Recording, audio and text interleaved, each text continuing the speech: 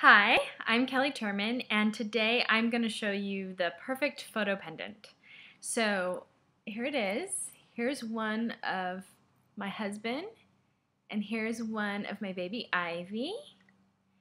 And I've actually purchased uh, several more pictures of Ivy as well that I've given to my mom and my sister so that they can have Ivy necklaces as well.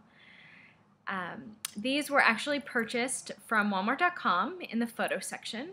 They arrive in this Walmart branded box and in this little pouch. So I actually went ahead and just bought independent charms, but you can buy a charm on a necklace or you can buy uh, charms on a charm bracelet. They also have keychains, etc. So there are a couple reasons that I really think this is an awesome photo pendant. One, the price point. The price point is well below other manufacturers that make the same type of product.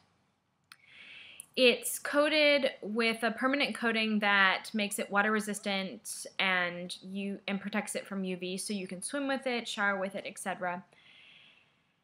And it just I was really impressed with the quality. It's sterling silver, it has a nice weight to it.